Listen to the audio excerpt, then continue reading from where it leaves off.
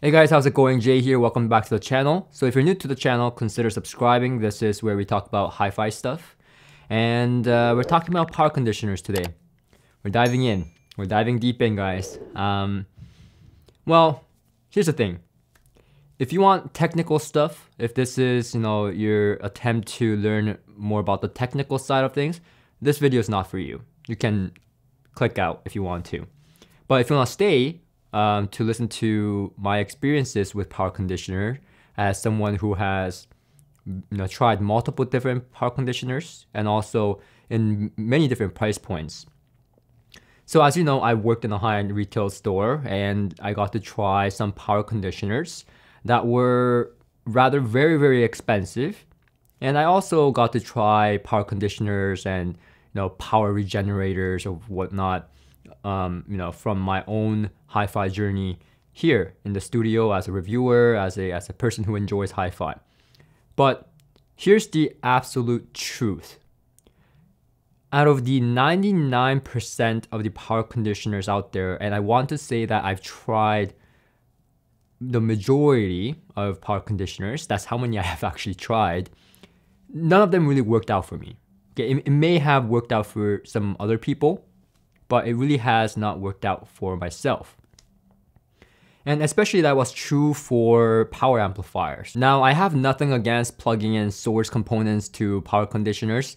That actually, you know, depending on what source and depending on how much is affecting the source and stuff like that, it actually can improve your sound. But I'm talking about strictly plugging in your amplifiers. And I always wondered why not just myself, but a lot of people in the industry and a lot of people who enjoy this hobby didn't have that positive experience uh, with plugging in power amplifiers to power conditioners or power regenerators and so on. And so I asked around and you know one of one of the reason why and I think it's valid reason was that these devices were technically current limiting. So you would hear a lot of times nowadays because you know manufacturers caught on to the trend, they would put in their marketing term, this is non-current limiting.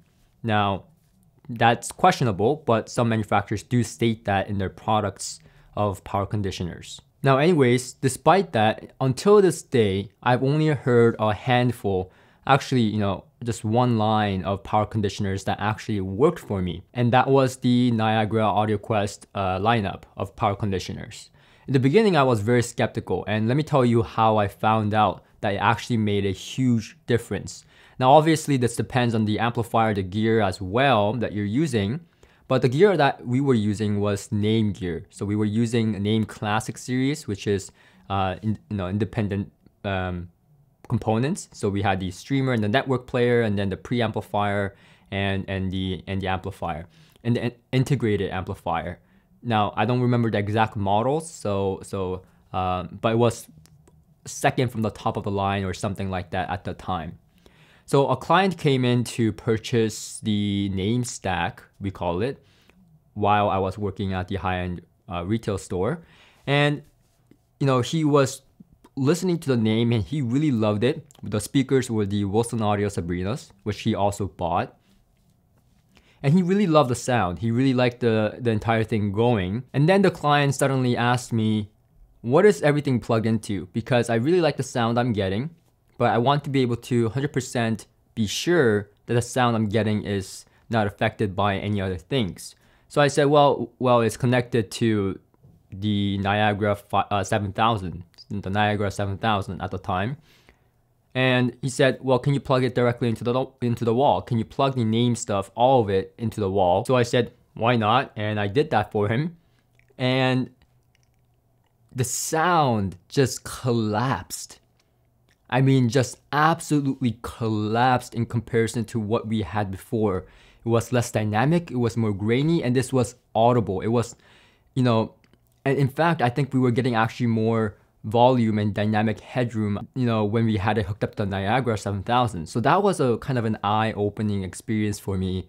Um, but other times, you know, I've tried even more expensive power conditioners from very reputable brands, you know, from all over the world. And I personally never got to replicate that experience for myself using different power conditioners and experimenting.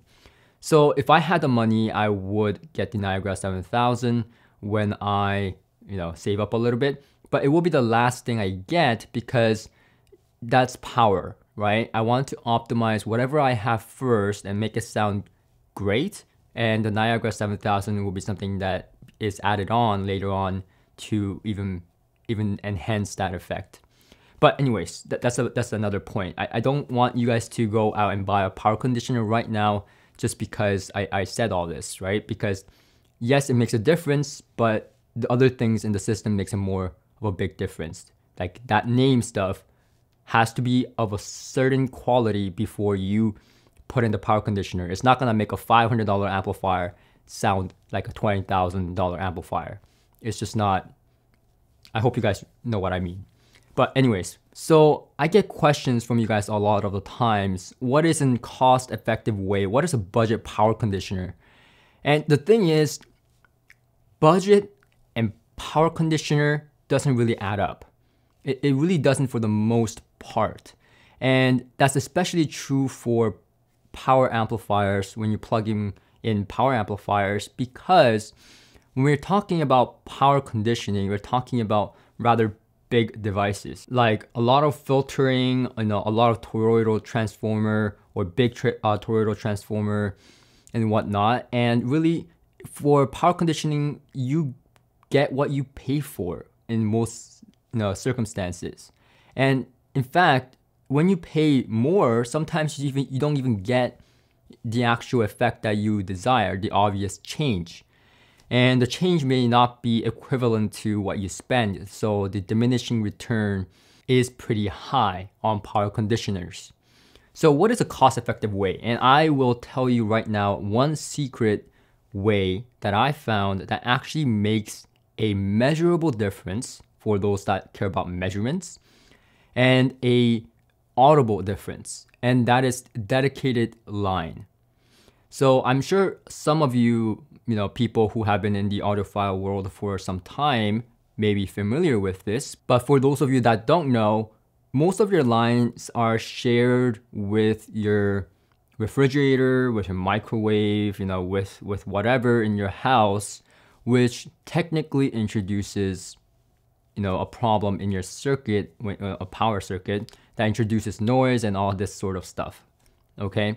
So a dedicated line is basically what it sounds like a dedicated line that only is is installed by by an electrician not an audiophile or an audio company but you call your nearby electrician and you pay them about anywhere from $500 to $1000 i paid about $700 for mine in canada and those were canadian dollars and depending on the job, it can vary, you know, in difficulty, and that's why the price is a little bit fl- uh, fluctuating. And also depending on the electrician you talk to. So shop around, shop around, talk to different electricians, see their qualification and reviews and so on. Do your research as always. When you ask an electrician to add a dedicated line, what ends up happening is you're basically asking the electrician to install a uh, an outlet that is only going to be plugged in for your amplifier.